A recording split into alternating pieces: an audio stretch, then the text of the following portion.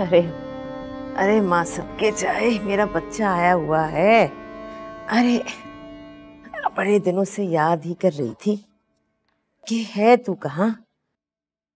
चक्कर ही नहीं लगाया इतने दिनों से। इतने दिनों से याद नहीं आई तुझे मेरी? मैं भी इंतज़ार कर रही थी कि कब आएगा तू। अरे, ऐसे क्यों सर झुका के बैठा है? क्या हुआ? हाँ इस्माइल? बेटा क्या बात है? हाँ? अरे क्या हुआ? ऐसे क्यों?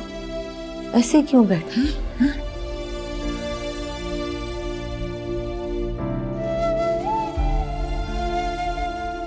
क्या हुआ मेरे लाल? हाँ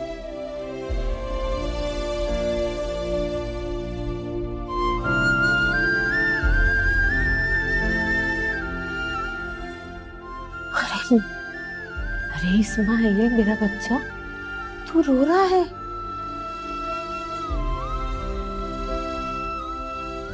अरे मेरा कलेजा मुँह को आ रहा है। क्या हुआ है? खैर तो है। क्यों रो रहा है मेरे बच्चे? कुछ बोल तो सही तू। क्या हुआ?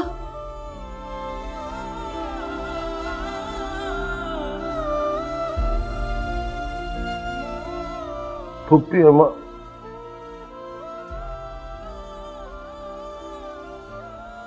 अरे फुप्पी कुर्बान तुझ पे वारी तू बोल तो सही क्या हुआ तुझे? मेरी बच्ची। हाँ क्या हुआ तेरी बच्ची को? मेरी बच्ची तो अस्पताल में बीमारी थी मगर मगर मगर क्या? समझ नहीं आ रहा मैं कैसे बात करूँ। लोगों से तरह तरह के इल्ज़ाम लगाना शुरू कर दिए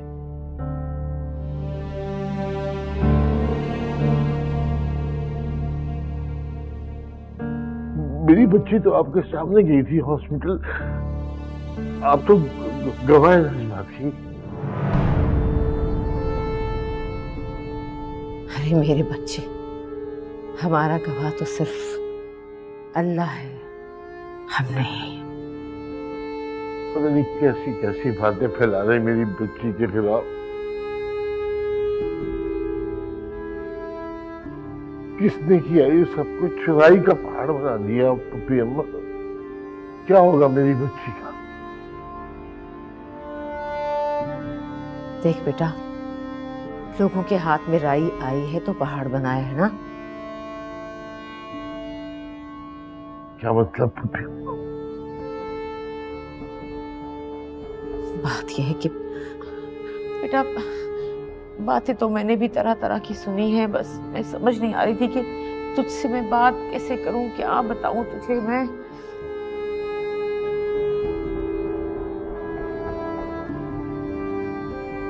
बड़ी गलती हो गई बेटा। बहुत बड़ी गलती हो गई।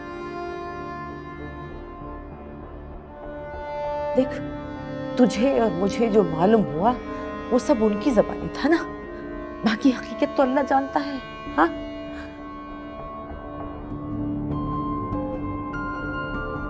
देखना तू और मैं तो बाद में पहुँचे ना। हमसे पहले तो रईस वहाँ पहुँचा था। उसने जाके वहाँ क्या खेल खेला, कैसे अपनी बात पे पर्दा डाला और कैसे तैयबा ने उसका साथ दिया। हम कुछ भी नहीं कह सकते, हमें कुछ इल्म नहीं।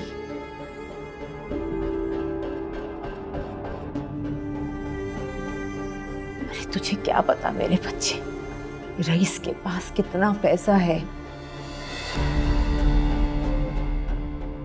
असल बात तो ये है कि रईस ने पैसा फेंक के अपनी मर्ज़ी का तमाशा दिखाया है हमें